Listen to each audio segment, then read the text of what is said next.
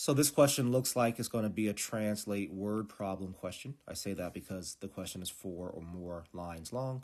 So we're going to just take this one sentence at a time, making sure to write down any quantitative information, and it will make sense of everything here.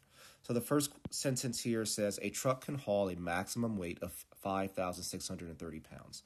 So I'm going to just say truck, or you know, I'll say weight is less than or equal to 5630, right? That would represent that the weight, that 5630 is the maximum weight. The next sentence here says during one trip, the truck will be used to haul a 190 pound piece of equipment as well as several crates. Okay.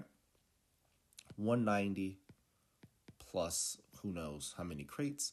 Some of these crates weigh 25 pounds each and the others weigh 62 pounds each. Okay. So if I say that the 25 pound crates are X and the 62 pound crates are Y, then I'd have 25X plus 62Y. All right.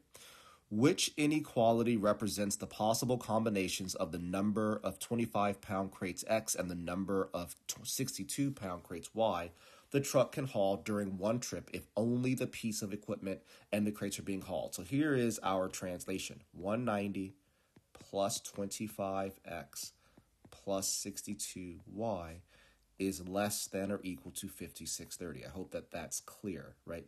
All of this represents the weight being carried by the truck. So if I were to simplify this, I'd subtract 190 from both sides. I'd have 5440 there. So I'd have 25x plus 62y is less than or equal to 5440. That's what I get from simplifying this. And let's see where that answer is. That is, looks like that's choice A. 25x plus 62y is less than or equal to 5,440. So that's our correct answer.